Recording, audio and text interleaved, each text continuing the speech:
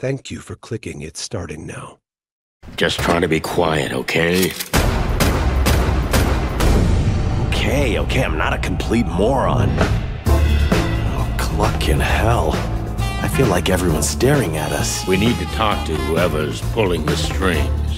Ah, we're so gonna die.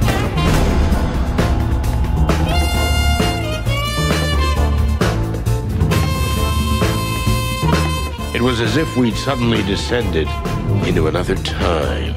I've been in some tough situations in my life, but this time I shuddered. Would we ever get out of here with our feathers intact? Ugh, it stinks in here. We're just humble detectives, man. Perhaps this time, you've delved too deep into the hornet's nest.